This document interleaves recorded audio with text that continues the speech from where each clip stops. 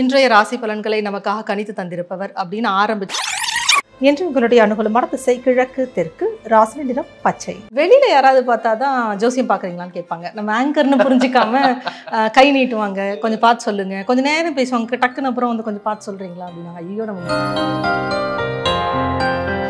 இப்போ நாங்கெல்லாம் பயங்கர எதிர்பார்ப்போட லியோங்கிற திரைப்படத்துக்காக அவளோட காத்திருக்கோம். வெளிநாடுகள்ல அதுக்கான எதிர்பார்க்கலாம் அப்படி இருக்கு? ஆஹ் எங்க குரூப்குள்ளே இருக்காங்க. நாங்க அங்க ஒரு ஃப்ரெண்ட்ஸ் இருப்போம் இல்லையா? அங்க அஜித் ஃபேன் விஜய் ஃபேன் அப்படி இருப்பாங்க அதுல விஜய் ஃபேன்ஸ் நிறைய இருக்காங்க அங்க. ஸோ அதனால ஓ அங்கேயும் இந்த விஜய் சரவணன் சார் அதெல்லாம் நிறைய இருக்கு. எங்க போனாலும் ரஜினி கமல் சார் விஜய் அஜித் சார் இந்த இந்த சண்டை ஓடிக்கிட்டே தான் இருக்கும். எல்லா குரூப்லயும் ஒரு காம்பினேஷன் குட்டி பசங்க. ஸோ பார்ட்டி ஓடிட்டு இருக்கும் போது விஜய் சார் பாட்டு போட்டா அஜித் போடுங்கன்னு சண்டை வரும். இதெல்லாம் ஓடும் அந்த லியோக்கு நல்லா இப்போ நல்லா உங்களுக்கு ஜோதிட மேல நம்பிக்கை. எனக்கு ஜோதிடம் மேல நம்பிக்கை உண்டு. ஜாதகர்கள் அது ஜோதிடர்கள் மேல ஜோசியமோட கான்செப்டே கணிக்கிறது தான் ஆமா. முன்னாடியே சொல்றது தான் ஜோசியம். அன்னை உட்காந்து சொன்னா சாமி வந்துச்சுன்னு அர்த்தம். எங்கேயாவது ரோட்ல இறங்கி சண்டை போட்டிருக்கீங்க? நிறையா. நான் வந்து அதான் சொன்னேன் ஜெண்டர் ஈக்குவாலிட்டி சொன்னீங்கல்ல அது வந்து எனக்கு தெரியும். பொண்ணு வந்து பைக் ஓட்டுறா கார் ஓட்டுறான்னா அவன் வந்து மத்த மத்த விஷயங்கள்லாம் பண்ணுவா. அதான். ஸ்மோக். அப்படி ஒண்ணு இருக்குல்ல. அதெல்லாம் எப்படி ஃபேஸ் பண்ணீங்க? அந்த புத்தி வரும்போது டே அது இல்லடான்னு எப்படி உடைச்சிங்க? நான் எல்லாருக்கும் போய் சொல்லணும்.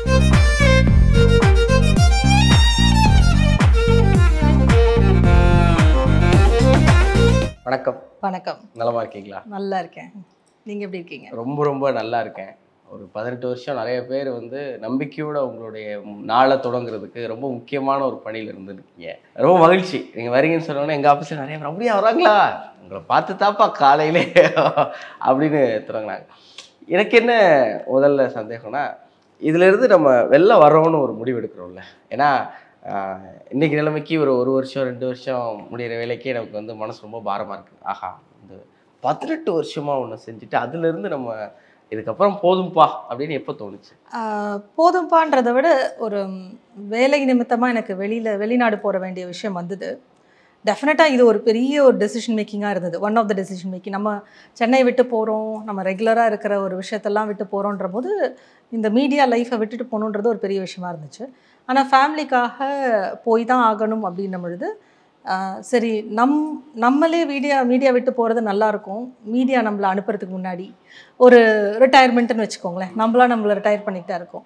ஸோ அது மோர் பெனிஃபிஷியலாக இருந்துச்சு. அது தைரியமாக எடுத்தால் நல்லது தான் அப்படின்னு ஒரு சேஞ்சுக்கு ரிஸ்க் எடுக்கலாமேன்னு எடுத்தது தான் யாரெல்லாம் உங்களை மிஸ் பண்ணாங்க?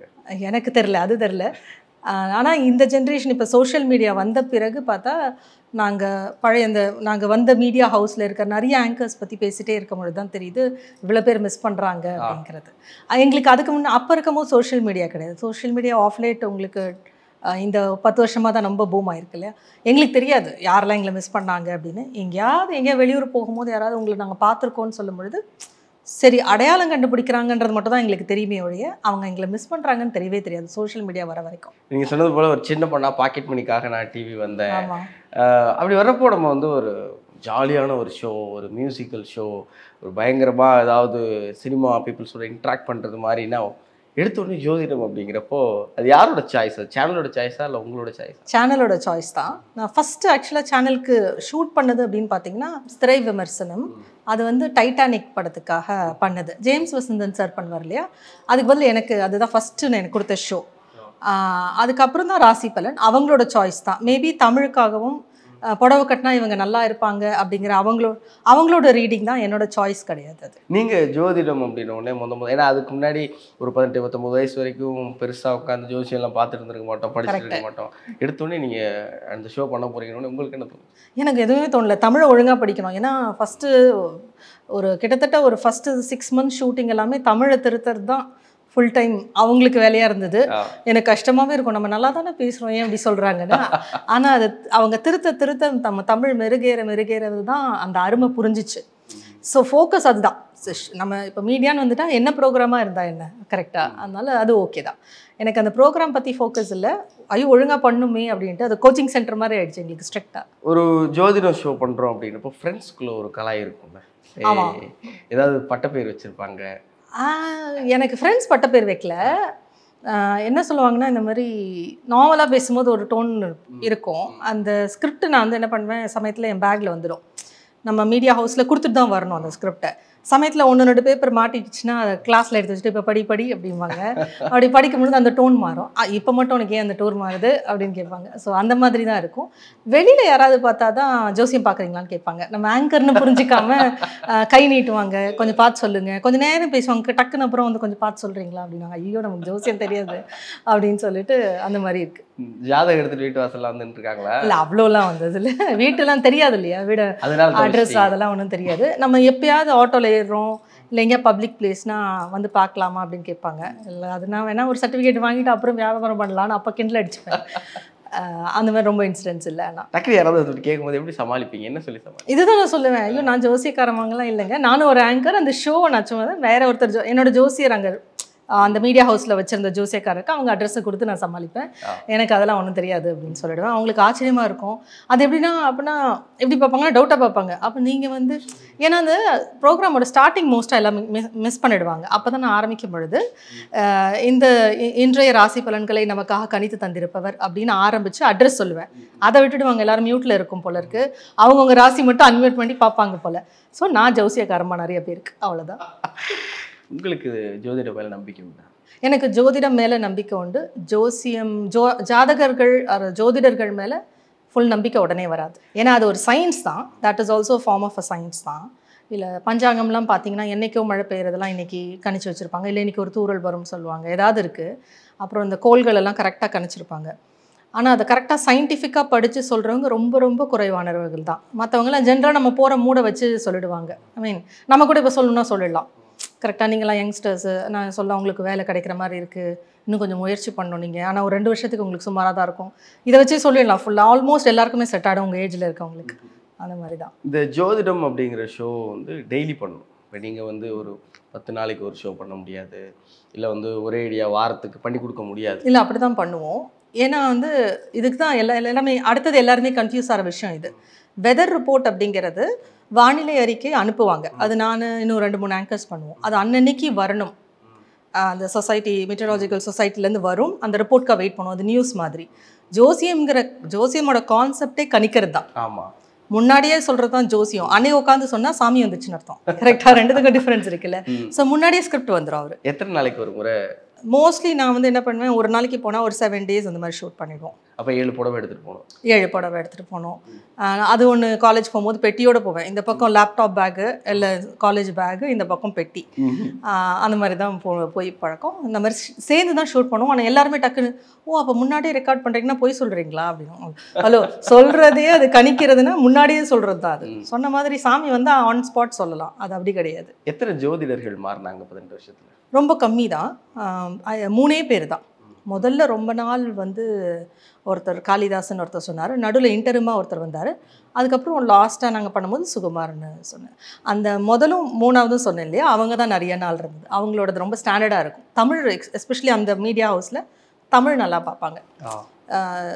ஜோ ஜாதகம் கணிக்கிறது ஜோசியம் சொல்கிறது தவிர அந்த தமிழ் அவங்களுக்கு ரொம்ப முக்கியம். அதனால அந்த ஸ்கிரிப்ட் நல்லா இருந்தால் தான் எடுத்துப்பாங்க. ஸ்கிரிப்டில் எரர் இருக்கும்போது எப்படி சமாளிப்பீங்க? எரர்ன்றதை விட மோஸ்ட்லி வந்து இப்போ நம்ம பேசுகிறோம் பெண்ணியம் பேசுகிறோம் அது இதுன்னு பேசுகிறோம் அப்போ ஜோசியத்தில் என்ன அடிக்கடி வரும்னா பெண்கள் பற்றி வந்தாலே பெண்ணுக்கு திருமணம் ஆகும். கவலைப்படாதீங்க அம்மா அப்பா. ஆண் மகன் வந்தாலே வேலை கிடைக்கும். அப்படின்னு. இதை நான் வந்து அடிச்சு அடிச்சு நியூட்ரல் பண்ணுவேன். அது உங்கள் குழந்தைங்களுக்கு திருமணம் ஆகும் அப்படி மாற்றுவேன் நான். நான் அவர்கிட்ட சொன்னாலும் ஒருத்தர் சீனியராக இருந்தார் அவர் கொஞ்சம் புரிஞ்சிக்க மாட்டார். சுகுமார்ன்றவர் கொஞ்சம் நல்லா புரிஞ்சுப்பாரு. ஓகே விஷால் ஓகே விஷால் நான் மாற்றி எழுதுறேன் அப்படின்னு சொல்லிட்டு நிறைய நியூட்ரலைஸ் பண்ணுவேன். ஏன்னா ரொம்ப அப்புறம் மனைவியிடம் அன் மனைவி உங்களுக்கு இன்னைக்கு அனுசரணையாக நடந்து கொள்வார்கள் அப்படின்னு இருக்கும். ஏன்? வாழ்க்கை துணைன்னு மாற்றுவேன் அந்த மனைவின்றது வாழ்க்கை துணைன்னு மாற்றுவேன் ஸோ அதுதான் கான்ஷியஸாக இருக்கும். வேற பெரிய எரர் நான் பார்த்ததில்ல. இந்த ஒரு பதினஞ்சு இருபது வருஷம் முன்னாடி இந்த ஜென்ரல் ஈக்குவாலிட்டிங்கிறது அப்போ கிடையவே கிடையாது. அப்போ அந்த காலேஜ் பொண்ணா இருக்கிறப்போ நீங்க அதை எங்க இருந்து ஆரம்பிச்சீங்க? அதான் சொன்னேன் என் ஸ்கிரிப்ட்லேருந்து ஆரம்பிச்சது. அப்புறம் உங்களுக்கு தாட்ஸ் எங்க இருந்து வந்தது அது எனக்கு தெரியல. நான் வந்து பைக் ஓட்டுவேன் நான். ஹண்ட்ரட் சிசி பைக் அப்போ. இப்போ ஹண்ட்ரட் சிசி நார்மல் ஆயிடுச்சு. ஓ பைக் ஓட்டுவீங்க? நான் பைக் கியர் பைக் தான். நான் கற்றுக்கிட்டது கேபி பஜாஜில் ஸோ எனக்கு பைக் ரைடிங் கார் டிரைவிங் ரொம்ப பிடிக்கும். நான் டர்ட் ட்ராக் பண்ணியிருக்கேன் கார் ரேசிங்கில் பைக் நிறைய ஓட்டுவேன். அப்போ வந்து நம்ம சவுதிக்குள்ள வண்டு விட்டு போவாங்க. அது கார் பண்ணியிருக்கேன் நான் இதெல்லாம் சொல்லவே. சரி நான் ஒரு கார் பைத்தியம் ஸோ அதனால அதெல்லாம் நிறையா பண்ணுவேன். அதனால ஸோ அதெல்லாம் பண்ணும் பொழுது நம்ம பைக் போகிறோம்னு வச்சுக்கோங்களேன் வைசர் போட்டிருப்போம் யாருன்னு ஒன்றும் தெரியாது. ஹெல்மெட்லாம் போட்டிருப்போம். இருந்தாலும் துரத்திட்டு வருவாங்க. லேடி ஓட்டுறது அப்படிங்கிறது இன்னைக்கு வந்து நிறைய இன்ஸ்டாகிராம் இன்ஃப்ளூயன்சஸ் இதை பண்றாங்க. கேர்ள்ஸ் வந்து பைக் ஓட்டுறது பைக் ஆமாம் எனக்கு ரொம்ப. பிடிக்கும் அது பார்க்கறது ஒரு இருபது வருஷம் முன்னாடி இதெல்லாம் ரொம்ப வியர்டாக தெரியுவேன் ஆடாக தெரியுவேன் ரோட்டில் எனக்கு தைரியம் கொடுத்தது அம்மா அப்பா. ஏன்னா ஏதாவது பிரச்சனை வரும் அப்புறம் துரத்திட்டு வருவாங்க. எல்லாம் பண்ணும்போது இல்லை சமயத்தில் எங்கேயாவது அப்பா என்ன சொல்லிடுவாங்கன்னா பைக்கை நிறுத்திட்டு சாவி எடுத்துகிட்டு வந்துட்டே இரு. யார்கிட்டயும் பேசாத நாங்கள் பார்த்துக்குறோம். அந்த மாதிரி பை அந்த மாதிரி காரும் அப்படி தான் கண்ட நேரத்தில் யாராவது நிறுத்துனாங்கன்னா நிறுத்தவே வேண்டாம். ஜஸ்ட் கீப் கமிங் அப்படின்வாங்க இல்லை போலீஸே ஏதாவது ப்ராப்ளம் நிறுத்திட்டாங்கன்னா அவங்க கிட்ட சாரி சார்னு சொல்லிட்டு அப்பா கிட்ட வந்து அப்பா வந்து பேசுவாங்கன்னு சொல்லிட்டு வந்துடு. அப்பா என்ன ஒர்க் பண்ணாங்க? என்ன அப்பா வந்து எஜுகேஷன் டிபார்ட்மெண்ட்ல இருந்தாங்க. அம்மா வந்து டெலிஃபோன் டிபார்ட்மெண்ட்ல இருந்தாங்க. ஸோ ரெண்டு பேருமே கொடுத்த தைரியம் தான். நீங்க எத்தனை கூட பிறந்தவங்க? ஒரு தம்பி அவர் இப்போ ஒரு ஐடி இன்ஜினியராக ஒர்க் பண்றாரு. சென்னையில் தான் இருக்காரு. எங்கேயாவது ரோட்ல இறங்கி சண்டை போட்டிருக்கீங்களா? நிறையா. நான் வந்து அதான் சொன்னேன் ஜெண்டர் ஈக்குவாலிட்டி சொன்னீங்கல்ல அது வந்து எனக்கு தெரியும் டிரைவிங்கில் இப்போ நானே இப்போ நானும் கற்றுக்குட்டியாக இருந்து தப்பு பண்ணியிருக்கேன் ரோட்டில் அந்த டைமும் உண்டு. எனக்கு டிரைவிங் ரைடிங் ரொம்ப பிடிக்குன்றதுனால ரொம்ப நல்லா ஓட்டுவேன். நல்லா தெரியும் நம்ம பொண்ணுங்கிறதுக்காக மட்டுமே தகராறு பண்ணுறாங்க அப்படின்னு தெரியும். கார் ஓட்டிட்டு ரெண்டு மூணு இன்சிடென்ட் இருக்குது ரஷ்யன் கல்ச்சரல் அகாடமி கிட்ட ஒரு பிரச்சனை. இப்போ யாரை பார்த்தாங்கன்னா அந்த யாரெல்லாம் என்கிட்ட சண்டை போட்டாங்களோ அவங்களுக்கு தெரிய வரும். இங்கே வந்து ஒரு பெரிய சம்பவம் தான் பண்ணியிருக்கேன். இங்கே டைட்டில் பார்க் கிட்ட ஒரு லாரி ரொம்ப கண்ணாப்பின்னான்னு போனாங்கன்னு சொல்லிட்டு என்னமோ இந்த படத்தில் வர பெரிய ஹீரோ மாதிரி நினச்சிக்கிட்டு காரை கொண்டு போய் நடுவில் இப்படி விட்டுருங்க. டைட்டில் பார்க்கல லாரி இப்படி நிற்க நான் இப்படி நிற்க ஃபுல்லாக அவங்க அவங்க மேலே கேஸ் போடுற வரைக்கும் நான் வண்டி எடுக்கல. ஏன்னா போலீஸ் பார்த்தாரு அவங்க லாரி எப்படி ஓட்டினாங்கன்னு. அந்த மாதிரி நிறைய பண்ணியிருக்கேன். அப்புறம் கல்யாணம் ஈ குழந்தை பிறந்த அப்புறம் தான் இதெல்லாம் வேண்டாம் அப்படின்னு சொல்லி அப்படியே குறைச்சிக்கிட்டு இதுக்கு மேல கொஞ்சம் கண்ட்ரோல் பண்ணிக்கிறேன். கண்ட்ரோல் பண்ணிக்கிட்டு அப்படி தான் இருந்தேன் நான். அதான் சொன்னேன் இந்த டாம் பாய்ஷாக இருக்கிறதுன்னு சொல்லுவாங்கல்ல அப்படி இருந்தது. அப்புறமா மெதுவாக கண்ட்ரோல் பண்ணிக்கிட்டு. எத்தனை வயசுல பைக் எடுத்து ஓட்ட ஆரம்பிச்சீங்க? பைக் ஓட்டுனது நான் நைன்த் ஸ்டாண்டர்ட். சன்னி அப்புறம் உங்களுக்குலாம் தான் நீங்களாம் பிறந்திருக்கவே மாட்டீங்களே பஜாஜ் சன்னின்னு ஒரு என்னை விட வண்டி நீங்க ரெண்டு மாசம் தான் பெரிய பொண்ணு. தேங்க்யூ ஆமா. நீங்க நைன்டி எயிட் மார்ச்ல வேலைக்கு வந்திருக்கீங்க. நான் நைன்டி எயிட் மேல அப்பதான் தான் பிறந்தீங்கல்ல? ரெண்டு மாசம் தான் நம்ம ரெண்டு மாதம் தான் நமக்கு. பஜாஜ் சனின்னு ஒரு இப்போ அந்த குட்டி குட்டி ஸ்கூட்டர் இருக்குல்ல கியர்லெஸ் கிளச்லெஸ் ஒரு சும்மா குட்டி பசங்களுக்கு மாதிரி வந்தது. அது நான் ஸ்கூலுக்கு போவேன். அப்பயே ட்ரிபிள்ஸ் தான் ஃபஸ்ட்டு போலீஸ்காரன் கிட்ட மாட்டி மாட்டி ஸ்கூலில் போகும்போது ஸ்கூலுக்கு போவேன். நம்ம ஸ்கூலில் என்னோட பைக் 1990 மட்டும் தான் இருக்கும். ஒன் டூ அந்த ரேஞ்ச் இருக்கும் இல்லையா? நைன்டீன் யா யா கரெக்ட் அதுக்கும் கொஞ்சம் ஆமாம் அந்த டைமில் இருக்கும். ஸ்கூலில் எந்த மட்டும் தான் பைக் இருக்கும். அப்புறம் சொல்லிட்டாங்க பைக்கெல்லாம் எடுத்துகிட்டு வரக்கூடாது அப்படின்னு சொல்லிட்டு. இப்பவே பைக்ல போறதுக்கு பசங்கலாம் இப்பதான் அது வந்திருக்கு. பசங்கலாம் நான் ரொம்ப ஆச்சரியமா பாக்குறேன். நான் ஸ்கூல் போகும்போது எங்க வீட்டுல சைக்கிள் தர மாட்டாங்க. நீ வேகமா போவ. சைக்கிள் எப்படியா வேகமா போக முடியும் ஆனா இது அடுத்த ஜென்ரேஷன் ஸ்கூட்டில போகும்போது ஆச்சரியமா இருக்கு. நீங்க அப்ப என்ன போயிருக்கீங்கன்னா? அதுதான் நான் ஆட் ஆட் மேன் அவுட்டாகவே இருந்திருக்கேன். ஒரு ஆட் பர்சன் அவுட் சொன்ன மாதிரி ஜெண்டர் ஈக்குவாலிட்டியாக கான்ஷியஸ் அந்த வேர்டு யூஸ் பண்ணோன்னா ஆட் பர்சன் அவுட் எதுவுமே தைரியமாக பண்ண ரொம்ப பிடிக்கும். ஸோ அப்போ அதான் வண்டி ஓட்ட ஆரம்பிச்சது நைன்த் ஸ்டாண்டர்ட் அந்த மாதிரி. நான் அது வந்து இன்றைக்குமே ஒரு அண்ணாட்ட மாட்டேன் எனக்கு அப்போ அவங்க அண்ணா அந்த ஏரியாவில் சுற்றிட்டு இருப்போம். ஒரு ஃப்ளாட்ஸ் ஃபுல்லாக இருக்கும். ஃபோர் ஷோர் எஸ்டேட்னு ஒரு ஏரியா அந்த ஏரியாவில் தான் இருப்போம். சன்னி அப்பா வாங்கி கொடுத்துட்டாங்க அவ்வளோதான் எடுத்துகிட்டு சுற்ற ஆரம்பிச்சிட்டோம். அதில் எங்கே ஃபியூவல் ஆன் பண்ணுறதுன்னு தெரியல. எங்கேயோ போய் நின்றுடுச்சு. அந்த அண்ணன் தான் வந்து வண்டி மட்டும் எடுத்துட்டு வர தெரியுது. ஃபியூவல் கூட எங்க இருக்குன்னு தெரியலன்னு சொல்லிட்டு ஆன் பண்ணி விட்டாங்க. அந்த ரிசர்வ்ல ஓடி இருக்கு போல இருக்கு. ஆர்வ கோளாறு பயங்கரமா இருந்தது early days தெரியுது. தெரியுதா? கேப்ல இல்ல நான் இருந்துச்சு. அது அதுக்கு ஒரு பெரிய ஒரு துணிச்சல் வேணும். அதுக்கு ஒரு பெரிய ஒரு துடுக்கு தரும் துணிச்சலும் இல்ல. பயம் இல்ல அவ்வளவுதான். அது ஒண்ணுதான். பயம்னா எனக்கு என்னன்னே தெரியாது. அப்படிலாம் இல்ல. அப்பா அம்மா அப்படி வளர்த்துருக்காங்க அதனால. ரொம்ப நல்லா இருக்கு கேட்குறப்போ ஒருவேளை எப்படி யோசிப்பாங்கன்னா ஒரு மீடியாவில் வந்து சேலை கட்டிட்டு ஜோசியம் வாசிக்கிற பொண்ணுனா இந்த குடும்ப பாங்கானன்னு ஒரு ஸ்டீரியோ டைப் இருக்கு இல்லையா? அதுக்குள்ளே இருப்பாங்க. ஆனால் இந்த பக்கம் பார்த்தா நான் அது இல்லைடா அப்படின்னு நீங்க வேற மாதிரி இருந்திருக்கீங்க. அப்படி இல்லை. நான் இந்த பக்கம் எனக்கு கல்யாணம் ஆகி குழந்தை பிறந்து நான் மாமியாரோட கூட்டு கொடுத்தனம் மாமனார் மாமியார் அவங்க ஃபேமிலியோட கூட்டு கொடுத்தனம் தான் ஃபோர்டீன் இயர்ஸ் நான் யூகே போகிறதுக்கு முன்னாடி வரைக்கும் இருந்திருக்கேன். இன்றைக்கும் எனக்கு சென்னைக்கு திரும்ப வரணும். மாமனார் மாமியார் இருக்காங்க அம்மா இருக்காங்க. I am more family orient நான் இன்ஃபேக்ட் டெசிஷன் எடுத்ததை பற்றி கேட்டிங்க இல்லையா டூ தௌசண்ட் ஃபிஃப்டீன் அது கூட ஃபேமிலி ரீசனுக்காக தான் நான் வந்து என்னோட மீடியா லைஃபை விட்டேன். ஸோ ரெண்டுமே இருக்கலாம் அப்படிங்கிறது தான் என்னோடது. இப்படி இருந்தால் இப்படி இருக்கக்கூடாதுன்னு கிடையவே கிடையாது. ரெண்டுத்துலேயுமே நீங்கள் இருக்கலாம். ஜெண்டர் ஈக்குவாலிட்டி ரொம்ப ரொம்ப தேவையான இன்னைக்கு செயல்பட்டுட்டு இருக்கிற ஒரு விஷயம். இந்த பாய் திங்ஸ்னு ஒன்று இருக்குல்ல. சில விஷயங்கள் வந்து எல்லாருக்கும் பொதுவானது. சில விஷயங்கள் வந்து இதை பசங்க மட்டும் தான் பண்ணணுமா? நானும் பண்ணுமே. நானும் பண்ணலாமே. அப்படி தோணும். அப்படி தோணி நீங்க செஞ்ச விஷயம் இல்லை அப்படி எதுவுமே கிடையாது. எனக்கு பிடிச்ச விஷயங்களை நான் செஞ்சேனே ஒழிய ஒரு என்னோட பிரதரோ இல்லை இன்னொரு ஃப்ரெண்டோ இல்லை இன்னொரு ஆம்பளை பசங்க ஆம்பளை பசங்க செய்கிறாங்கன்னு நான் செய்யல. எனக்கு ஸ்பீடு பிடிக்கும். எனக்கு எனக்கு ஸ்பீடு பிடிக்கும். எனக்கு எங்கள் அப்பா பைக் ஓட்டுறது பார்த்துருக்கேன். எங்கள் அப்பா எனக்கு வந்து ஒரு ரோல் மாடல் பைக் ஓட்டுறதுல. அப்பா மாதிரி ட்ரை பண்ணணும் தானே ஒழிஞ்சு போட்டிக்காக நான் பண்ணதில்லை. ஆசையில் எனக்கு இன்ட்ரெஸ்ட் தான். இப்போ ஒரு பொது புத்தின்னு ஒன்று இருக்கு. இது எப்பயுமே தப்பாக தான் இருக்கும். அதில் நான் ரொம்ப ஆழமாக நம்புறேன் ஆஹ் அந்த பொது புத்தி என்னன்னா ஒரு பொண்ணு வந்து பைக் ஓட்டுறா கார் ஓட்டுறான்னா ஆஹ் அவ வந்து மற்ற மற்ற விஷயங்கள்லாம் பண்ணுவா. ஸ்மோக். அப்படி ஒன்று இருக்குல்ல. அதெல்லாம் எப்படி ஃபேஸ் பண்ணீங்க? அந்த புத்தி வரும்போது டே அது இல்லைடான்னு எப்படி உடைச்சிங்க. அதை பற்றி நான் கவலைப்பட்டதே இல்லை. உடைக்கணும்னு அவசியமே இல்லை. அவங்க நினச்சா நினச்சிட்டு போட்டுமே.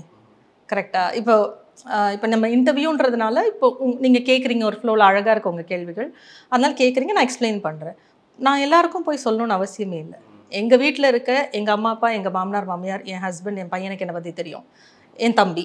என்னோடய ஃபஸ்ட்டு சர்க்கிளுக்கு தெரிஞ்சால் போதும்னு நினைக்கிறேன். என் கூட இருக்கவங்கள தான் நான் கன்வின்ஸ் பண்ணி வச்சுக்கணும்னு நினைப்பேன் ஒழிய அடுத்த மற்றவங்கள பற்றி நான் பெருசாக கவலைப்பட மாட்டேன். ரெஸ்பெக்ட் பண்ணுவேன். நீங்கள் சொன்ன மாதிரி அந்த பொது புத்திக்கெல்லாம் டைம் ஸ்பெண்ட் பண்ணுறதில்ல. நீயா நானா மாதிரி நீங்கள் ஒரு ஷோ பண்ணியிருக்கணும் இப்போ நான் ஆசைப்படுறேன். இல்லை அதுவும் ஒரு ஆசை இருந்தது. ஆனால் வந்து எனக்கு டைம் பிரச்சனையாக இருந்துச்சு. எனக்கு வந்து நான் இவ்வளோ சொல்கிறேன்ல எல்லா விஷயத்துலையும் தைரியமாக இருந்தேன்ட்டு. எனக்கு மீடியாக்குள்ளே ஃபுல் டைம் உங்களை மாதிரிலாம் எனக்கு ரொம்ப பாராட்டணும் உங்களெல்லாம் தோணுது. மீடியாக்குள்ளே என்னால் ஃபுல் டைம் வரதுக்கு அப்போ தைரியம் இல்லை. நான் அதனால் என்ன பண்ணேன் நான் பேரலாக என்னோட ஃபுல் டைம் கெரியருக்குள்ளேயும் போய்க்கிட்டு மீடியா வந்து ஒரு பார்ட் டைமாக தான் ரொம்ப வருஷமாக வச்சுருந்தேன். உங்களெல்லாம் பார்க்கும்போது ரொம்ப சந்தோஷமாக இருக்குது பரவாயில்ல இதுதான் என்னோட ஆசை. அதை ஃபுல் டைமாக பண்ணுறீங்கல்ல அப்ரிஷியேட் யுவர். கட்ஸ் நீங்கள் பெரிய ஆச்சரியமா ஏன்னா நாங்கள் இதை சமாளிக்கிறதுக்கு நாங்கள் இதுக்காக சில மெனக்கெடுப்போம் நீங்கள் ரெண்டையும் சமாளிச்சிருக்கீங்க. அதுவும் இன்னைக்கு வந்து டிவியில் வர்றதோ அல்லது ஒரு சோஷியல் மீடியாவில் வந்து உட்கார்ந்து பேசுகிறதோங்கிறது இயல்போ அல்லது எளிமையாவோ ஆயிடுச்சு. ஆனால் அன்னைக்கு வந்து ஒரு டிவியில் வராங்கன்னா அவங்க தான் நட்சத்திரங்கள். ஒரு தொலைக்காட்சியில் வர ஒரு நட்சத்திரத்துக்கும் ஒரு திரைப்படத்தில் ஒரு நட்சத்திரத்துக்கும் சரிசமமான மதிப்பும் மரியாதையும் ரசிகர் பட்டாளமும் உண்டு. நீங்கள் அப்போ ரெண்டே சமாளிச்சிருக்கீங்கிறது எனக்கு ரொம்ப ஆச்சரியம். இவ்வளவு துடுக்கான பொண்ணு சினிமா வர்றது அப்படிங்கிறது அது எங்கே தடைப்பட்டுச்சு? நீங்கள் அது ஹஸ்பண்டோட அதுக்கப்புறம் நீங்கள் போனதெல்லாம் ஓகே அதுக்கு முன்னாடி ஒரு பைக் ரேசர் ஒரு கார் ரேசர் இருக்கு. அப்போவே சினிமாக்கான வந்து அப்பா அம்மா விடலை. அப்பா அப்பா என்ன சொல்லிட்டாங்கன்னா ஒரு ஒரு கம்மா போட்டு அப்பா என்ன சொல்லிட்டாங்கன்னா கல்யாணம் பண்ணிக்கோ உன் ஹஸ்பண்ட் அலோவ் பண்ணா நீ போய்க்கோ. ஏன்னா ஒரு நல்ல மூவி சான்ஸ் வந்தது. நான் ஒரே அழுக வீட்டில். நான் நினச்சிட்டேன் எங்கள் அப்பா அம்மா என்னை வளர விட மாட்டேங்கிறாங்க. ஏன்னா என்ன சினிமாலாம் இப்போ இப்போ வந்தாலே நமக்கு பெரிய சான்ஸ் இல்லை. அப்படின்னு நினச்சேன். அப்பா வந்து உனக்கு இதெல்லாம் புரியாது. அதனால உன் ஹஸ்பண்ட் அப்ரூவ் பண்ணா நீ வேணா கல்யாணத்துக்கு அப்புறம் போய்க்கோ. இப்போ என் பொண்ணா இருக்கிற வரைக்கும் உனக்கு நோட் ஃபார் சினிமா. எல்லாத்துக்கும் அலோவ் பண்ணப்ப சினிமாக்கு மட்டும்? விடலை. அப்பா அம்மா ரெண்டு பேருமே இல்லை எங்க பொண்ணா இருக்கிற வரைக்கும் நீ என்ன வேணா பண்ணு. மீடியா கூட அவங்க வந்து பார்த்தாங்க ரொம்ப நல்ல மீடியா ஹவுஸ் சூப்பராக ப்ரொஃபஷ்னலாக இருக்கிறதுனால அவங்கள இனிஷியல் ஷூட்டிங்ஸ்லாம் வந்தாங்க அப்புறம் கான்ஃபிடென்ட்டாக விட்டுட்டாங்க. இதெல்லாம் நீ போய் விழுந்தேஞ்சு கூட வா ஆக்சிடென்ட்லாம் ஆயிருக்கு. அதெல்லாம் ஒன்றும் பார்த்துப்பாங்க. ஆனால் மீ மூவிஸ் கிடையாதுன்னு ஸ்ட்ரிக்டாக சொல்லிட்டாங்க. உங்களுக்கு அந்த அது அது மேல ஒரு பெரிய கிரேஸ் இருந்ததா? இனிஷியலாக இருந்ததா? சொன்னேன் அழுதேன் ஆர்ப்பாட்டம் பண்ணேன் அவங்க வந்து சேலரி பற்றிலாம் இல்லை. ஹீரோயினாக வர்றேன்ப்பா ஒரு படத்தில். ஏன்ப்பா என்ன மே- அனுப்ப மாட்டேங்கிறீங்கன்னு ஒரே அழுக ஆர்ப்பாட்டம். ரொம்ப ஸ்ட்ரிக்டாக நீ என்ன வேணா அழு குட்டிக்கரணம் போடு நம்ம கிட்ட நடக்காதுன்னு சொல்லிட்டாங்க. ஆனால் அப்பா சொன்னது எனக்கு எப்போ புரிஞ்சுதுன்னா திருமணத்துக்கு அப்புறம் அதே மாதிரி ஒரு நல்ல சான்ஸ் வந்தது ஹீரோயின் சான்ஸ். கல்யாணம் ஆகி ஒரு வருஷத்துக்குள்ள. நானும் ஹஸ்பண்டும் தான் போய் அந்த ஒரு பெரிய செலிபிரிட்டி அவங்க அவங்களுக்கு பார்த்தோம். எனக்கு ஒரு ப்ளசண்ட்டான எக்ஸ்பீரியன்ஸ் கிடைக்கல. அதனால் வந்து அப்பா சொன்னது அப்போ நினச்சிக்கிட்டேன். அப்பாட்ட போய் சொன்னேன் நல்ல வேலை. ஹஸ்பண்டோட போயே இப்படி ஒரு எக்ஸ்பீரியன்ஸ் அப்போ அப்போ தெரிஞ்சது அப்பா அம்மா என்ன சொன்னாங்க அப்படின்னு சொல்லிட்டு. அதனால் நோ ரெக்ரெட்ஸ் சினிமாவில் பண்ணாதது. அதுக்கு மனைவி அமைவதெல்லாம் கடவுள் கொடுத்த வரம்னு சொல்லுவாங்க. நல்ல பெற்றோர்கள் அமையிறது கடவுள். ரொம்ப ரொம்ப முக்கியமான நினைக்கிறேன். அது உங்களுக்கு ரொம்ப நேர்த்தி கரெக்ட் அமைஞ்சிருக்கு. கரெக்ட் அதே மாதிரி வேலைக்கும் எங்க அம்மா என்ன சொல்லுவாங்கன்னா அம்மா வந்து நைட் ஷிஃப்ட் பார்த்து அந்த காலத்துல பஸ் ஏறி போயிட்டுலாம் வந்திருக்காங்க. அம்மா என்ன சொன்னாங்க படிச்சா நிறைய நல்லா படிச்சு இந்த பைய தூக்கிட்டு போற வேலை பார்க்காம பயங்கர டாப்ல வா இல்லையா கல்யாணம் பண்ணி கொடுத்துறோம் பணக்கார விடா பார்த்து ஹாப்பியா இரு. இது ரெண்டுத்துல எது சூஸ் பண்ணுன்னு அம்மா சொல்லி கொடுத்தது. எனக்கு வந்து இந்த கல்யாண வீட்டில் நான் நான் இருக்கிற ஹைப்பர் ஆக்டிவ் பணக்கார வீடு. தான் ஆனா நான் சம்பாரிச்ச பணத்துல இல்ல பணக்கார வீடு. அது இல்லை. நான் எனக்கு இன்னொருத்தவங்க இதில் போய் உட்காரணும்னு இஷ்டமே இல்லை. இல்லை இல்லை நான் இண்டிபெண்ட்டாகவே இருந்துக்கிறேன். எனக்கு இந்த சாய்ஸில் இண்டிபெண்ட்டாக இருக்கிறது பெட்டராக இருந்தது. பணக்காரங்களை பார்த்து செட்டில் ஆகிறத விட. அதனால அம்மா அப்படி டியூன் பண்ணாங்க. அப்பா தைரியம் டியூன் பண்ணி விட்டாங்க. அதனால பேரண்ட்ஸோட தான் ஃபுல்லாக பெரிய ஆச்சரியமா இருக்கு. அஹ் நான் வந்து விஷால் பத்தி யோசிக்கும் போது என்னன்னா இன்னைக்கு இந்த மீடியா நான் சொன்னது போல இதுல சுலபம் இது வந்து ரொம்ப இன்னைக்கு இயல்பாயிருச்சு. ஆனால் திறன் உடையவையே தப்பி பிழைக்கும் மாதிரி யாருக்கெல்லாம் திறன் இருக்கோ அவங்க தான் போற்றுதலுக்கும் பாராட்டுங்க ஆனா உங்களுக்கு கிடைச்சது விட இன்னைக்கு எக்ஸ்போசருங்கிறது பெரிய அளவுல இருக்கு. இன்னைக்கு ரொம்ப ஈஸியா ரசிகர்கள் வந்துடுறாங்க. ரொம்ப சுலபமா வாய்ப்புகள்லாம் கிடைச்சிருது. இன்னைக்கு அஹ், நான் திரும்பியும் ஒரு சோஷியல் மீடியால ஏதாவது ஒண்ணு பண்ணணும். மறுபடியும் என்னுடைய ரசிகர்கள் சந்திக்கணும். இல்லை மறுபடியும் ஏதாவது ஒண்ணு பண்ணணும்னு தோணியிருக்கா? நான் ட்ரை பண்ணேன். ட்ரை பண்ணிட்டு அதுவும் விட்டுட்டேன் நான். ஏன்னா வந்து நான் யூகேல இருந்துட்டே ஆம், ஒரு யூடியூப் சேனல் ஆரம்பிச்சு ராசி பலன் படிக்க ஆரம்பிச்சேன். நல்ல வியூவர்ஷிப் கிடைச்சிது. அப்புறம் ஒரு தீபம்னு ஒரு கம்பெனி இருக்காங்களா அவங்க தான் எனக்கு எடிட்டிங் எல்லாமே பண்ணிட்டு இருந்தாங்க. நல்லா போச்சு. எனக்கு டைம் இல்லாமல் போச்சு. செஞ்சால் செஞ்சா ஒழுங்கா பண்ணணும்.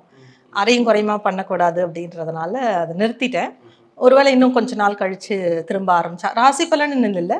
வே ஆனால் தெரியும் ராசி பலனுக்கு நிறைய ரசிகர்கள் இருக்காங்கன்னு இப்பதான் தெரிய ஆரம்பிச்சிருக்கு. வேற ஏதாவது பண்ணலான்ட்டு இருக்கேன். ஆனால் எதுன்னு தெரியல. இது வரைக்கும் பிளான் பண்ணலை எதுவும். இன்னைக்கு இந்த சோஷியல் மீடியா எவ்வளோ சுலபமாகவும் எவ்வளோ வாய்ப்புகளையும் தேடி கொடுக்குதுன்னா ஒருத்தர் வந்து ஒரு அன் அன்றாட வாழ்க்கையில் என்ன செய்ய போறாங்க? காலைல எனக்கு எந்திரிச்சு என்ன பண்ணுறேன் என்ன சாப்பிட்றேன் எங்கே போகிறேங்கிறதெல்லாம் காணொளிகளா எடுத்து பதிவிட்டாலே அது வந்து அவங்கள புகழின் உச்சத்துக்கும் பொருளாதாரத்தின் உச்சத்துக்கும். கொண்டு போய் விட்டுருது இல்லையா? இதெல்லாம் பார்க்குறப்ப என்ன தோணும் விஷாலுக்கு? எங்க அம்மா தான் சொல்லுவாங்க ஏய் நீ ஃபாரின்ல தானே இருக்க நீ ஏதாவது வீடியோ எட அங்க இருக்க இங்க இருக்க நடப்போம் இப்போயும் அம்மா அவங்கள விடலை. அம்மா வீட்டுல பண்ணு ஏதாவது பண்ணு இதை பண்ணு அதை பண்ணு அப்படின்ட்டு எனக்கு அது பெருசா இன்ட்ரெஸ்ட் இல்லை. தெரில ஏன் தெரில விஷால் வீலாக்ஸ்க்காக நாங்கள் ரொம்ப அவளோட காத்திருக்கோம். ஓ தேங்க்யூ தேங்க்யூ கதாநாயகி ஆயிருந்தா விஷால். ஒருவேளை இந்த மீடியா ஹவுஸ் ரொம்ப சரியா நேர்த்தியா அமைஞ்சது போல ஒருவேளை திரையுலகமும் உங்களுக்கு நேர்த்தியா அமைஞ்சிருந்தா எந்த கதாநாயகன் கூட நடிக்கணும்னு ஆசைப்பட்டிருப்பீங்க? இப்போ அ- அதை பத்தி ஏதாவது ஐடியா இருக்கா? கமல் சார்? எனக்கு ரொம்ப பிடிக்கும் அவரை கமல் சாரோட. அதுக்கப்புறம்? எனக்கு பிடிச்ச ஹீரோஸ் அப்படின்னு பார்த்தீங்கன்னா கமல் சார் கார்த்திக் சூர்யா அவங்க இருக்காங்க. அவங்களுக்கு ஒரு சிஸ்டர் ரோல் மாதிரி இருந்தால் எனக்கு ரொம்ப பிடிக்கும். நட்சத்திரங்களை விட்டீங்களே அஜித் சார் விஜய் சார்லாம் அவங்களாம் பிஸியாக இருக்காங்க விட்டுருங்க. நமக்கு அதெல்லாம் கிடைச்சதுன்னா நம்ம வேண்டாம்னு சொல்ல போகிறது இல்லை ரைட்டா எந்த ரோல் கிடைச்சாலும் எவ்வளோ பெரிய ஹீரோஸ் எவ்வளோ சின்ன ஹீரோஸ் நல்ல ரோல் கிடைச்சதுன்னா டெஃபினட்டாக சினிமாக்கு போறது சில பேருக்கு ரொம்ப இஷ்டமா இருக்கும். சில பேர் வந்து அடிக்கடி சினிமா போக மாட்டாங்க. எப்பயாவது ஒரு ரெஃப்ரெஷ்மெண்ட்காக இல்லை நண்பர்கள் கூட. விஷால் எந்த மாதிரியான? நல்ல படங்கள் வந்தால் டெஃபினட்டாக பார்க்குறது வெளிநாடுகளில் தமிழ் படங்களுக்கான வரவேற்பு பார்க்கும்போது எங்களுக்குலாம் ரொம்ப மகிழ்ச்சியாக அது திரையுலகத்தில் இருக்கவங்களுக்கு அது பொருளாதார ரீதியாக அடுத்த கட்ட உயர்வு அது இப்படிங்கிறது கடந்து வெளிநாட்டில் இருக்கிற தமிழர்களும் நம்மள போல வந்து போய் திரைப்படங்கள் பார்க்குறாங்கங்கிறது எங்களுக்கு மகிழ்ச்சி. அப்படி அடிக்கடி படங்கள் பார்க்கறதுக்கான வாய்ப்புகள் இங்கே எப்படி இருக்கும்? நீங்கள் எப்படி அதெல்லாம் பார்க்கலாம் எல்லாம் நல்ல எந்த டாப் மூவிஸ் வந்தாலும் நிறைய தேட்டர்ஸில் அங்கே வந்துடும். நல்ல படங்கள்னா சீட்டு கிடைக்காத சமயத்தில். நாங்கள் எல்லாருமே அந்த சென்டர் சீட்டு அந்த லாஸ்ட் நம்ம பார்ப்போம் இல்லையா? அதெல்லாம் கிடைக்காத சமயத்தில். ஸோ ஒரு வாரம் ரெண்டு வாரம் வெயிட் பண்ணி பொன்னியின் செல்வனுக்குலாம் பயங்கர வரவேற்பு இருந்தது. பெரிய சினிமா காதலி விஷால் அப்படிங்கிறது இது வரைக்கும் யாருக்கும் தெரியாமல் போயிடுச்சுன்னு நினைக்கிறேன். திருப்பி வாய்ப்புகள் வரும் விஷால். இந்த இன்டர்வியூ பார்த்து எங்கெல்லாம் மறந்துடாதீங்க. அதெல்லாம் மறக்க இப்போ நாங்கெல்லாம் பயங்கர எதிர்பார்ப்போட லியோங்கிற திரைப்படத்துக்காக அவளோட காத்திருக்கோம். வெளிநாடுகள்ல அதுக்கான எதிர்பார்ப்புலாம் அப்படி இருக்கு? ஆஹ் எங்க குரூப்குள்ளே இருக்காங்க. நாங்க அங்க ஒரு ஃப்ரெண்ட்ஸ் இருப்போம் இல்லையா? அங்க அஜித் ஃபேன் விஜய் ஃபேன் அப்படி இருப்பாங்க. அதுல விஜய் ஃபேன்ஸ் நிறைய இருக்காங்க அங்க. ஸோ அதனால சொல்லிட்டு இருக்காங்க போலாம் போலான்னு இன்னொருத்தங்க இன்னொரு குரூப் வந்து அவங்க சொல்றாங்க நான் வந்து தூங்குறதுக்கு ரெடியா இல்லை. உன் கலாச்சிட்டு இந்த சண்டையே வந்துடும் ஃபுல் சண்டை வந்துடும் ஏதாவது வீட்டில் பார்ட்டி கிர்ட்டி வச்சா ஃபுல் சண்டை வந்துடும் ஸோ அது டாக் ஆஃப் த டவுனாக இருக்கு. அந்த மூவி ஓ அங்கேயும் இந்த விஜய் சார் சார் அதெல்லாம் நிறைய இருக்கு. எங்க போனாலும் ரஜினி கமல் சார் விஜய் அஜித் சார் இந்த இந்த சண்டை ஓடிக்கிட்டே தான் இருக்கும். எல்லா குரூப்லயும் ஒரு காம்பினேஷன் குட்டி பசங்க கூட. ஆச்சரியம் தான் என்னன்னா விஜய் அஜித் அந்த சண்டை வந்து சின்ன சின்ன பசங்க. இப்போ ஃபோர்த் ஃபிஃப்த் படிக்கிறவங்க. அது அங்கதான் வளர்றாங்க பிறந்து வளர்றாங்க. ஆனா அந்த தமிழ் படங்கள் நிறைய பார்க்கறதுனால அவங்களும் இது. அந்த மாதிரி நம்மளோட கானா சாங் டப்பாங்குத் சாங்னா அந்த பசங்களுக்கு அவ்வளோ தெரியுது. ஸோ பார்ட்டி ஓடிட்டு இருக்கும்போது விஜய் சார் பாட்டு போட்டால் அஜித் போடுங்கன்னு சண்டை வரும். இதெல்லாம் ஓடும். அந்த லியோக்கு நல்லா இப்போ நல்ல நல்லா அங்கே லேட்டஸ்ட் பார்ட்டியில் நிறைய பேசிக்கிட்டு மரபணுக்கள் இருக்குல்ல. அதெல்லாம் தானே அதுதான் எங்களுக்கு ஆச்சரியமா இருக்கும். நமக்கு தெரியாத பாட்டெல்லாம் அந்த பசங்க சொல்லும். ஒரு ஒரு ஃபைவ் டென் இயர்ஸா வந்த நல்ல ஹிட் பாட்டு டான்ஸ் சாங்ஸ் எல்லாம் அவங்க கரெக்டாக சொல்லுவாங்க. மகிழ்ச்சி. விஷால் எந்த டீம் இதுல? இந்த டீம்ல விஷால் எந்த டீம்? இதுலையா? நான் எல்லா டீம்லையும் இருப்பேன். நான் தான் சொன்னேனே நான் கமல் சாரோட டீம். ஒரு விஷயம் உங்ககிட்ட ரொம்ப நேர்த்தியாக நாங்கள் கவனிக்கிறது விஷால் உங்களுக்குள்ள இவ்வளோ புரட்சிகரமான சிந்தனைகள் இருக்குது இவ்வளோ நேர்த்தியாக ரொம்ப சரியான தெளிவான சிந்தனைகளோடு நீங்கள் வந்திருக்கீங்க. அதுக்கு உங்களுடைய பெற்றோர்கள் உங்கள் வாழ்க்கை முறை எங்கள் படித்த புத்தகங்கள் இதெல்லாம் காரணமாக இருந்தது. இந்த உடை புத்தகம் படிக்கிற பழக்கமே இல்லை எனக்கு. அதுதான் நான் உங்ககிட்ட தோண்டி கொஞ்சம் அதை உங்கள்கிட்ட தோண்டி பார்த்தா உங்கள்கிட்ட வரலைங்கிறப்போ கொஞ்சம் சோம்பேறி அதில். எனக்கு வந்து மோர் அ விஷுவல் பர்சன் இப்போ ஒரு டெட் டாக்ஸ் பார்ப்பேன். ஒரு டூ மினிட் வீடியோ பார்ப்பேன். புக்கு எடுத்து படிக்கிற பழக்கம் இன்னும் இல்லை என்கிட்ட அது ஒரு வளர்த்துக்கணும் அது. இவ்வளோ சாதனைகளுக்கு பிறகு ஏதோ ஒன்று வளர்த்துக்கணும்னு நினைக்கிறது அவங்களை இவ்வளோ தூரம் கொண்டு வந்திருக்கும்னு நான் நினைக்கிறேன். இந்த உடை நேர்த்தி உங்களை பார்த்து அசந்து போன நிறைய பேர் சொல்லிகிட்டே இருக்கிறாங்க. ஏன்னா ஒரு இப்போ விஜய் சார் ஒரு படத்தில் வராருன்னா அது மாதிரி சட்டை போட்டுக்கணும். அஜித் சார் வராருன்னா அந்த பேண்ட் இப்போ பயங்கர ஃபேமஸாக அது போல் உங்களை பார்த்து உங்களோட உடைகளை காப்பி அடிச்சு உங்கள் ஃப்ரெண்ட்ஸ் இருந்திருக்காங்களா உடை ஹேர் ஸ்டைல் உடை வந்து என்ன சொல்லுவாங்கன்னா நீங்கள் போகிற ஆர்னமெண்ட்ஸ் நான் ரொம்ப போட மாட்டேன். இப்போ நான் இயரிங் போட்டால் செயின் அவாய்ட் பண்ணிடுவேன். அப்புறம் ஹெவி ட்ரெஸ் பண்ண மாட்டேன். முதல்ல கம்ஃபர்ட் அதாவது எது நமக்கு கம்ஃபர்டபுளாக இருக்கோ இப்போ நான் வந்து ஒரு இடத்துல உட்கார எந்திரிக்கிறேன்னா எனக்கு வந்து ரொம்ப அன்கம்ஃபர்டபுளாக இருக்க ட்ரெஸ் போட மாட்டேன். எது கம்ஃபர்டபுளாக இருக்கோ அதை ஃபஸ்ட்டு போடுவேன். அப்புறம் அந்த இடத்துக்கு ஏற்ற மாதிரி இப்போ ஆஃபீஸ் விஷய ஆஃபீஸ் போகிறப்போலாம் நான் புடவை கட்டுறதே இல்லை. கட்டலாம் அதுக்குன்னு உண்டான ஒரு ஸ்டைல் இருக்கு. ஆனால் யூகேல அதை போட்டுட்டு ஜாக்கெட்டை போட்டுட்டு ஷூவை போட்டுட்டு போக முடியாது. ஸோ ஒரு பேண்ட் அண்ட் ஷர்ட் அந்த மாதிரி. ஸோ கம்ஃபர்டபுளாக இருப்பேன். ஃப்ரெண்ட்ஸ் என்ன அப்ரிஷியேட் பண்ணுவாங்கன்னா நீ சிம்பிள் சிம்பிளாக போகிற அதுவே நல்லா இருக்கு. ஸோ ரொம்ப டெக் டப்பாக போக மாட்டேன் நான். அந்த காலத்தில் ராசி பலன் படிக்கும்போதுன்னு சொல்லுவாங்க. நான் என்ன பண்ணுவேன்னா இதே மாதிரி தான் மேட்சிங் ப்ளவுஸ் மேட்சிங் saree போடுவேன். கான்ட்ராஸ்டாக போடு இந்த சம்கி வச்சு போடு குஷ்பு மேடம் போடுவாங்க இல்லையா ப்ளவுசஸ் அந்த கோட்டீஸ்வரி இந்த ப்ரோக்ராம்லாம் அது மாதிரி ஏன் போட மாட்டேங்கிற அதெல்லாம் கேட்பாங்க. அது எனக்கு பார்த்து ரசிக்க பிடிக்கும். நான் அவ்வளோ கிராண்டாக போட்டுக்கணும்னு எனக்கு தோணுனதே கிடையாது. இந்த யதார்த்தம் தான் உங்களை ரொம்ப மக்கள் மத்தியில் பெரிய ஆவலோடு அவங்கள வந்து உங்களை ஏற்றுக்க வச்சதும் நான் நினைக்கிறேன். அவங்கள ஒருத்தங்களா நம்ம இருக்கிறோம் இல்லையா? நம்ம ரொம்ப வித்தியாசப்பட்டு தெரிஞ்சோம்னா நம்ம அப்படியே ஒரு செலிபிரிட்டி தள்ளி இருந்துருவாங்க. நார்மலாக இருந்துட்டு போகலாமே அப்படின்ட்டு. அந்த ப்ரோக்ராம் என்னங்க? ராசி பலன். அதுக்கு நம்ம ஏன் ஓவரா மேக்கப் போட்டு ஓவரா இருக்கணும்? தெரியல. நம்ம ஒழுங்கா பேசி அவங்களுக்கு சொல்ல வேண்டியதை சொன்னா போதும் நினைக்கிறேன். அழகா இருக்கிறவங்களுக்கு எதுக்கு மறுபடியும் அழகு சேர்த்து தேங்க்யூ தேங்க்யூ ரொம்ப மகிழ்ச்சி சார். ஏன்னா வெறுமனே ஒரு ராசி பலன் சொல்கிற ஆளாக இல்லாமல் நிறைய விஷயங்கள் நீங்கள் பண்ணியிருக்கீங்க. அந்த சிந்தனைகள் இதுக்கப்புறம் வெளியில் வரணுங்கிறது என்னுடைய ஆசை. நீங்கள் ஏன்னா இதுக்கப்புறம் நீங்கள் உங்கள் அம்மா சொன்னது போல் நீங்கள் உங்களுக்கான ஒரு ஒரு சொந்தமாக ஒரு சமூக ஊடக பக்கம் ஆரம்பிக்கலாம். அதில் உங்களுடைய சிந்தனைகளை வந்து பார்க்கறதுக்கு நான் ரொம்ப ஆவலோட இருக்கேன். ஏன்னா ரொம்ப நேர்த்தியான தேவையான கடந்த இருபது ஆண்டுகளாக தேவைப்பட்டுட்டு இருக்கிற ஒரு சிந்தனைகள் உங்ககிட்ட நிறைய புதஞ்சு கிடக்கு. அதை நீங்கள் ரொம்ப நேர்த்தியாக இந்த நேர்காணலை வெளியிட்டதுக்கு நான் ரொம்ப ரொம்ப மகிழ்ச்சி அடைகிறேன். ரொம்ப நன்றி. உங்களோட பொண்ணான நேரத்தில் நம்ம எஸ்எஸ் நேர்களுக்காக. ரொம்ப நன்றி குமரன். ரொம்ப தெளிவான கேள்விகள். யோசிக்காம சில பேர் நான் இன்னொரு இன்டர்வியூவில் கூட சொன்னேன். நீங்கள் எல்லாருமே யங்ஸ்டர்ஸ் புதுசாக வந்திருந்தாலும் உங்களுக்குள்ள அந்த கொஷின்ஸ் அழகாக ஃப்ரேம் பண்ணி வச்சுட்டு நான் இப்போ ஆன்சர் சொல்லும் பொழுது சில பேர் யோசிப்பாங்க. அடுத்த கேள்வி இது எடுக்கணும் அப்படின்ட்டு. அந்த கண்ணில் கண்ணிலையோ முகத்துலேயோ அந்த இது தெரியாமல் ஸ்மூத்தாக எடுத்துகிட்டு போனீங்க. ஐ திங்க் அதுவே நீங்கள் ரொம்ப டேலண்டட் தெரியுது. You will grow well thanks Kumaran.